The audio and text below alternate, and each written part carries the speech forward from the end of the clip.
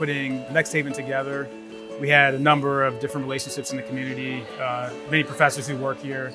And just as we started to kind of explain what we were doing, um, it became obvious that, you know, this is a case um, where the students could kind of learn about how to really make um, strides and develop new, uh, new ideas in certain kinds of neighborhoods. And so they approached us to see if we would like to turn into a multimedia case, and we thought that was an excellent idea.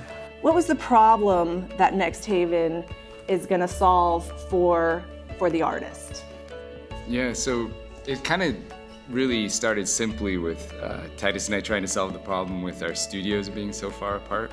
And we'd have all these curators, collectors, they would come by and they would want to, they'd say, hey, I'm here all day, show me other artists' studios. And so that was kind of the, the original impetus was to kind of create this central hub it's grown quite a bit from that. So the Next Haven case uh, provides a really interesting set of themes for us to explore. Uh, the case allows us to think about the uh, financial model for putting a project like this together in a way that really advances the art careers of the cohort of artists that you bring into that space, while at the same time uh, extends some benefits to the broader neighborhood uh, and, and community in which it's located. And so we started looking for a building. And so the story part where I, I told him it was crazy it was more related to this building that he wanted me to look at. And it was a wreck, and his, his he was kind of like, hey, it's only $500,000. And I was like, it should be free.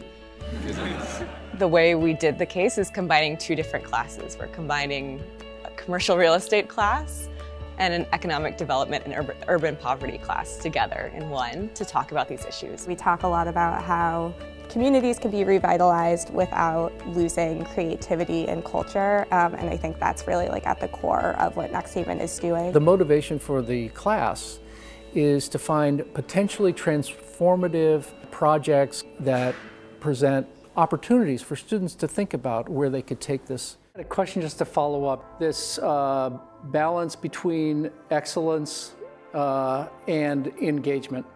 Community engagement is like a buzzword and it doesn't mean the same thing to everybody. You know, we've been really intentional in designing multiple ways into the project. It's part of putting the question back on someone, right? Which is like, well, how do you want to be involved? You know, maybe it's through public programming, maybe it's through um, use of the theater and other kind of spaces where we're centering art and artists' kind of voice and experience.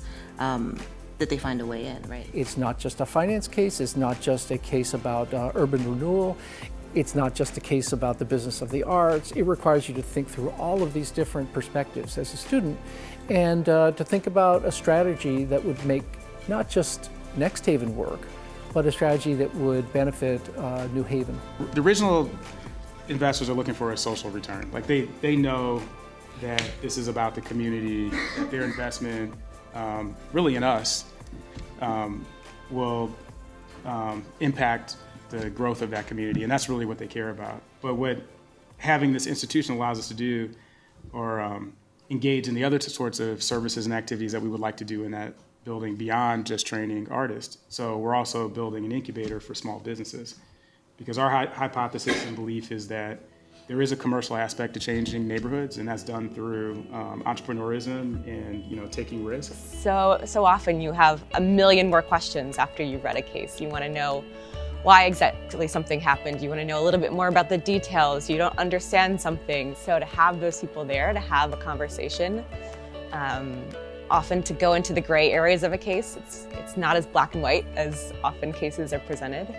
Uh, I think that's hugely helpful. That's another great thing about coming to Yale is that you get to actually meet a lot of these people that you read about in cases. What I'm optimistic about is I think um, we're going to figure it out. So, so my hope is that uh, students understand how difficult this can be and that you need to be thinking about um, all aspects of development. And it's not simply about the idea but it's also about you know understanding the strategy and the components of what make um, any makes any organization successful. Um, and the other thing I would like for them to get out of it is more of um, you know a point of view or a constitution and that is you know it's a lot of hard work and that you know, at every turn you may have to pivot and make different decisions. But you know, if you're, um, you know, committed, that typically there's a there's a way forward. I think what I got from this case is that sometimes there are problems in our lives that we're trying to solve that you can solve by doing something much bigger. They wanted this cool artist, creative, collaborative community.